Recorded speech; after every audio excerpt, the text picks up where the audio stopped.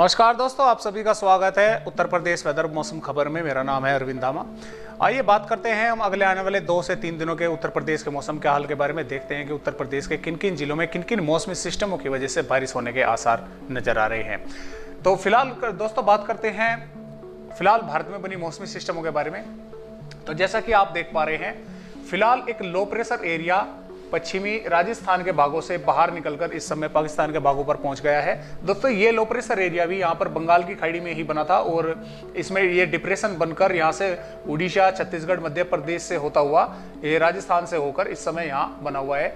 इस सिस्टम की वजह से क्या हो रहा है कि आप देख पा रहे हैं, जैसे अरब सागर से काफ़ी तेज़ी के साथ हवाएँ मध्य गुजरात, मध्य प्रदेश से होते हुए उत्तर प्रदेश तक भी पहुँच रही है, जिसके कारण उत्तर प्रदेश में बादल, हल्के बादल आते जाते देखने को मिल रहे हैं। लेकिन जैसे जैसे ये सिस्टम आगे की ओर निकल जाएगा, पाकिस्तान की ओर निकल जाएगा तो इसका, इस सिस्टम के प्रभाव से ये हवाएँ यहाँ पर आनी कम हो जाएँगी।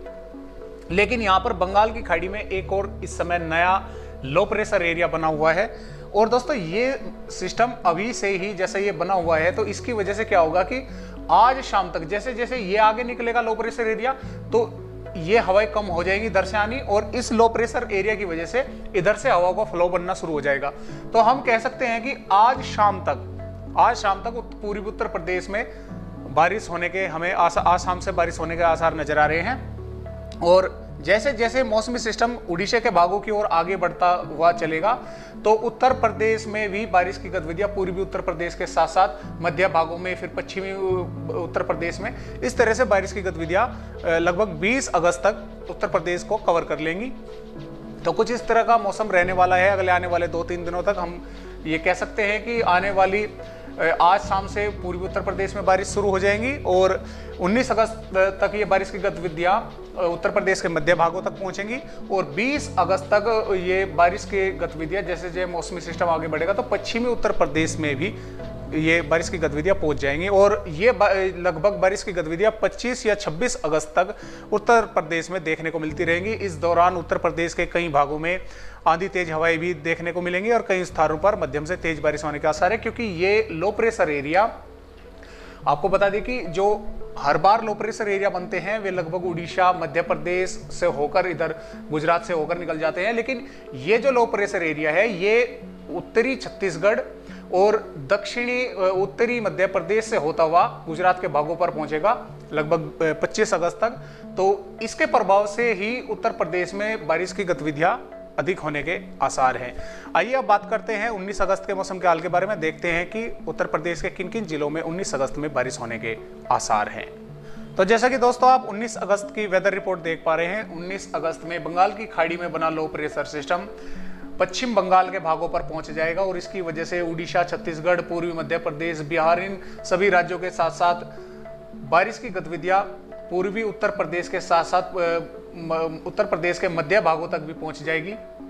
इसमें जो बारिश के आसार बनेंगे 19 अगस्त में वे सोनभद्र, मिर्जापुर, प्रयागराज लखनऊ, अयोध्या, सीतापुर पीलीभीत, लखीमपुर लखीमपुर, खीरी, पीलीभीत, इन सभी भागों में बारिश की गतिविधियाँ 19 अगस्त से शुरू हो जाएगी और 19 अगस्त में अधिकतर भागों में ही बादल छा जाएँगे। उत्तर प्रदेश के पूर्व, चाहे वे पूर्वी भाग हो, चाहे वे मध्य भाग हो, इन सभी भागों में बादल छा जाएँगे और इसके साथ साथ जब ये यहाँ पर एंटर करेगा दोस्तों तो ये हवाएँ जो ऐसे घूम, ऐसे आएँगे यहाँ से बिहार से उत्तर प्रदेश से होती हुई तो ये जो पश्चिमी उत्तर प्रदेश के उत्तरी भाग है, इसमें सहारनपुर, शामली बिजनौर, रामपुर, पीलीभीत, इन भागों में भी कुछ स्थानों पर बारिश होने के आसार हमें नज़र आ रहे हैं। हालाँकि जो ये नीचे के भाग हैं, इसमें अली, अलीगढ़, आगरा, मथुरा गौतम बुद्ध नगर गाजियाबाद इन जिलों में मौसम लगभग शुष्क ही बना रहेगा। 19 अगस्त में भी हालाँकि कुछ भागों में बादल आते जाते हमें देखने को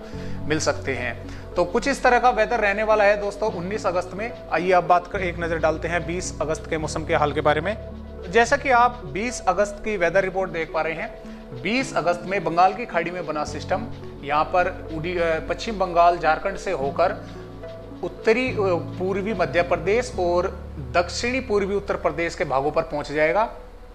इसकी वजह से जो पूर्वी उत्तर प्रदेश के वाराणसी, सोनभद्र, प्रयागराज, चित्रकूट, बांदा, हमीरपुर और देवरिया, मऊ, बलिया, इन सभी भागों में मध्यम से तेज बारिश होने के आसार हैं। और इसके साथ साथ ही लखनऊ ज़िले के आसपास के भागों में भी मध्यम, हल्की से मध्यम बारिश की संभावनाएँ हमें नज़र आ रही है। और पश्चिमी उत्तर प्रदेश के भी अधिकांश भागों में बादल छा जाएँगे 20 अगस्त में। लेकिन पश्चिमी उत्तर प्रदेश में आगरा, मथुरा और ये उत्तरी भाग जो है, इनमें सहारनपुर, शामली, बागपत और पीलीभीत बिजनौर इन जिलों में हल्की बारिश होने की संभावनाएँ हमें नज़र आ रही है। तो कुछ इस तरह का मौसम रहने वाला है लगभग 20 अगस्त में। और अब एक नज़र, हम नज़र डालते हैं हम 21 अगस्त के वेदर मॉडल पर। जैसा कि आप 21 अगस्त की वेदर रिपोर्ट देख पा रहे हैं 21 अगस्त में बंगाल की खाड़ी में बना सिस्टम। यहाँ पर उत्तरी मध्य प्रदेश और जो उत्तर प्रदेश के दक्षिणी भाग है, इन बुंदेलखंड के भागों पर पहुँच जाएगा, जिसकी वजह से उत्तर प्रदेश के सभी भागों में लगभग बादल छाए रहेंगे और जो ये आगरा, मथुरा औरैया, कन्नौज, कानपुर देहात, कानपुर नगर, झांसी, ललितपुर, इन जिलों में मध्यम से तेज बारिश होने के आसार हैं और उत्तर प्रदेश के लगभग अधिकांश भागों में ही बारिश होने की संभावनाएँ हमें नज़र आ रही है। हालाँकि कुछ भागों में छुटपुट बादल आते जाते जैसे यहाँ पे महाराजगंज सिद्धार्थनगर अयोध्या, इन जिलों में हल्के बादल आते जाते देखने को मिलेंगे। और ये सिस्टम दोस्तों लगभग आप यहाँ पर देख रहे हैं कि तेईस अगस्त तक यहाँ पर पहुँच जाएगा पश्चिमी राजस्थान पर। लेकिन मानसून की अक्षय रेखा भी इससे होकर, यहाँ तक पंजाब से होकर, मध्य प्रदेश से होकर, उड़ीसा तक गुजरेगी, जिसकी वजह से कुछ ना कुछ वेदर एक्टिविटी उत्तर प्रदेश में 25 24 या 25 अगस्त तक देखने को मिलती रहेगी। और उसके बाद में भी आपको बता दें कि इसके बाद में जैसे यहाँ पर पहुंचेगा 25 अगस्त के दौरान ये यहाँ पर पहुंचेगा लो प्रेशर एरिया। बंगाल की खाड़ी में एक और नया लो प्रेशर एरिया बनेगा और वो दोस्तों 26 अगस्त से लेकर यहाँ से पश्चिम बंगाल, झारखंड और उत्तर, दक्षिणी उत्तर प्रदेश से होता हुआ यहाँ पर वो भी लगभग 30 अगस्त तक राजस्थान के भागों पर पहुंचेगा। तो दोस्तों हम कह सकते हैं कि लगाकर 18-19 अगस्त से उत्तर प्रदेश में बारिश का सिलसिला लगभग 30 अगस्त तक जारी रहेगा। इस दौरान उत्तर प्रदेश के कई जिलों में आंधी तेज हवाओं के साथ मध्यम से तेज बारिश होने के आसार हमें नज़र आ रहे हैं।